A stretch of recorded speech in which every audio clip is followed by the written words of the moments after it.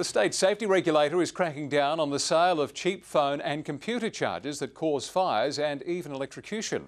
Exclusive lab tests show just how dangerous the devices can be. The safety of this mobile phone charger is being tested. The result is terrifying. A Nine News investigation assessed a number of different chargers readily available over the counter and online. This particular sample didn't self-extinguish and therefore um, it failed the test. That charger isn't approved for sale in Australia, nor was the USB charger that electrocuted New South Wales mother Cheryl Ann Aldeguer earlier this year.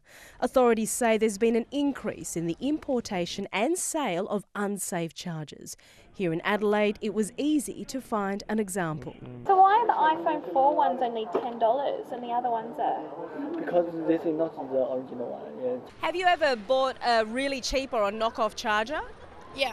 The state's regulatory body of electrical appliances is now investigating retailers. We're doing a, uh, Uh, a run around the shops to see what we can find out if we can see any similar product in the in the retail sector in South Australia. Consumers are advised to only buy chargers stamped with the Australian safety approval mark. Also make sure the pins of chargers are insulated. Non-compliant chargers won't have insulation like these ones. I think it's very important that consumers buy certified products as, as it could turn out to save your life. Catherine Kennedy, 9 News.